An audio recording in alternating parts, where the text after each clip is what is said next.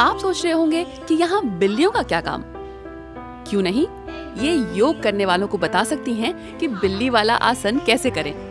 पॉ आवर एक खास योग सेशन है जिसमें तनाव को दूर कर तरोताजा होना सिखाया जाता है I think this uh, yoga with cats is much different from just working out or yoga because of the added serotonin boost and it keeps you distracted in a good way. बिल्लियों के साथ योग करने का चलन दुनिया भर में बढ़ रहा है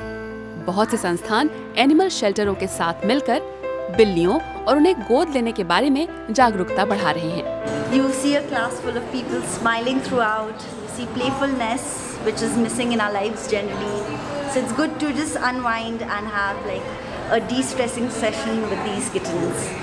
Also, it's really good as it raises a lot of awareness and it ends up with happy stories of kittens getting adopted.